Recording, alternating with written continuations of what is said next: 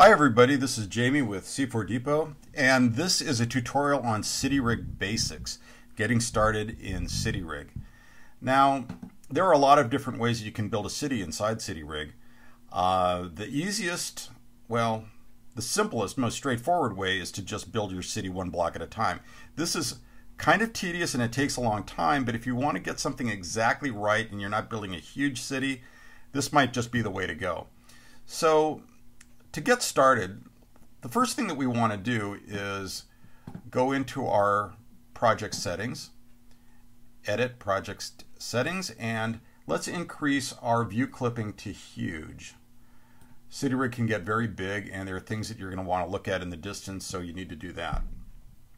Now, the second thing we should probably do is maybe, if you want to, you can add a landscape.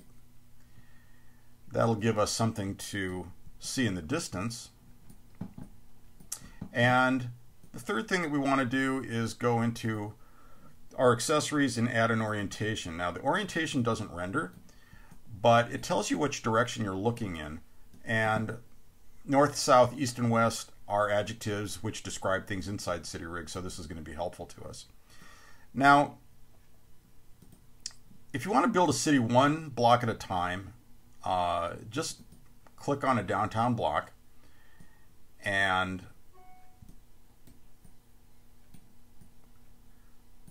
let's just configure this.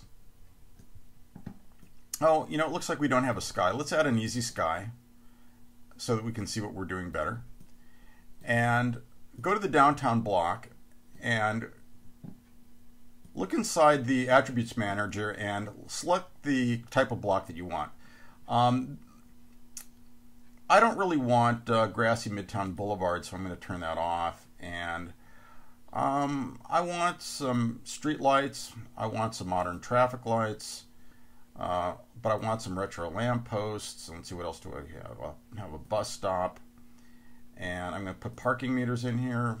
And I'm going to put a fire hydrant in. And since there's a fire hydrant, I'm going to add some red curbs for the fire hydrant. And I want some trees. Put some trees in there. So this is going to be my basic block. And Look at that. That looks so funky. What the heck is that stuff? Well, these are the low poly proxies that Kyle and I created to give you a performance boost in the viewport. And if you were building a very large city, you would not want to use high poly geometry because it just slows things down. But if you wanted to look at the high poly geometry, if you're not doing something that's too big, um, let's um, turn that on and you can see the retro lampposts now are um, pretty high detail. And everything and you can actually do this with everything with the trees and, and, and so forth. Um, but for now let's just turn this stuff off because we'll pretend that we're making a big project and um, we don't want things to slow down in the viewport. So that's our main block now let's just say that we uh, populated this with some buildings, which I'm going to show you how to do in a little bit. But right next to this, what we want to do is we want to have a um, maybe a vacant lot. And so we're going to add a dummy block, which is a city block that doesn't have a lot of features in it. And you can have a lot of dummy blocks and it's not going to slow anything down. So that's one of the good uses for them. Now, we're we, we need to move the dummy block out of the way because it just uh, is positioned in the center of the world. So let's go into our accessories and get an asset mover, bring one of these things in here.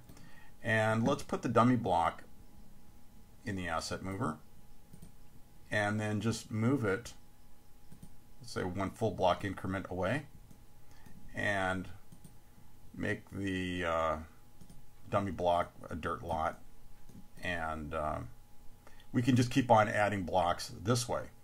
Now most of you are going to probably want to get something going a little bit quicker than this, so I want to show you how to use the cloner.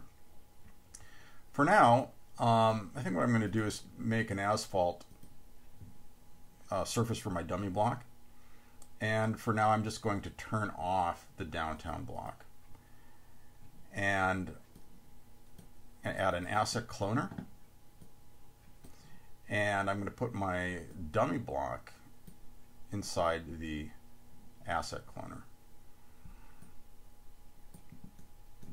Now, one of the things about the um, asset cloner that's really cool is that you can cut, make a cutout. And let's just say I want to use this dummy block for warehouses and you know industrial stuff. Um, I can enable this cutout and specify the size of the cutout for maybe my city center, which I want to have, you know, different type of architecture, high rises and whatnot. And so that'll cut that out. Now I'm going to add another asset cloner.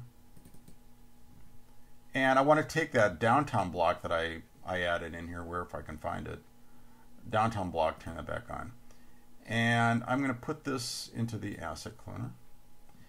And by default, it gives me a 4x4 configuration, but I want to reduce that to a 2x2. Okay, so now I have my high detailed downtown blocks in the center, and it's got all the parking meters, and then all this scenery, I just use dummy blocks for because I'm not going to really go over here. I just want them for background uh, visuals. And I'm going to populate the outer area first. So let's go into the content browser and see what we've got in there. I think we should probably put in maybe some of these low poly warehouses. And what I'm going to do is I'm going to take my um, asset cloner with the dummy block. I'm going to just duplicate that. And I'm going to delete my dummy block. And I'm going to put my warehouse block inside this asset cloner. And I'm going to also need a, I want to, uh, put some shipping containers in there. And I'm going to drop that into the same cloner. And I'm going to get, uh, let's say a gas station. Uh, how about some oil tanks so that the gas station has something to pump? And one thing about the brick building, a lot of these buildings will um, give you some different options. I want this to be a low building and I want it to be like a double wide. Actually, what I want it to do is take up the whole space. So I'm going to turn on full block symmetry. And now we've got the outside of our city pretty well, you know, set up. But what I really want to do is I want to do the inside of the city. So let's go find a building that we really like. Now this deco building is kind of my favorite, but the thing about the deco building is you don't want to have a lot of these because they're very distinctive. So I'm not going to clone this thing. I think that I'm just going to place this uh, manually by hand. So in this situation, oops, wrong thing. I need to put it into the asset mover. Okay.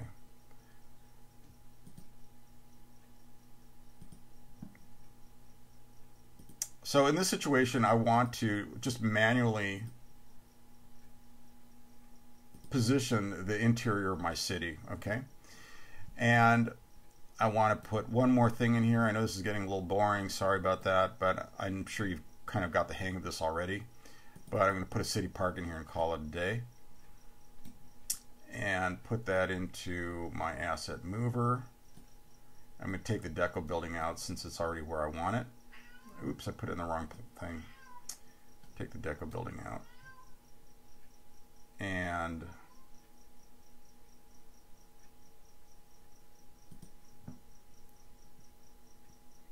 see if I can find a good spot for my city park.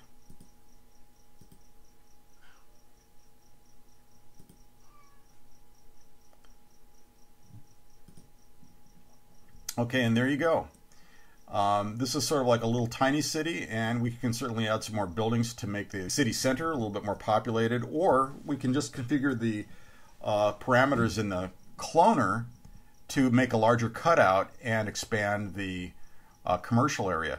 Now, if you wanted to have a third area that has different kinds of architecture, like maybe residential buildings, or you wanted a commercial uh, intermediary area, all you need to do is add another asset cloner and make the cutout larger for this area. And that's the way that the best way that you can build a city and make it very customized um, exactly the way that you want it. So that's it for this tutorial on City Rig Basics. And on the next tutorial, we'll go into Auto City Rig and show you how to use that tool. So thanks for listening, and we'll catch you at the next tutorial. Bye now.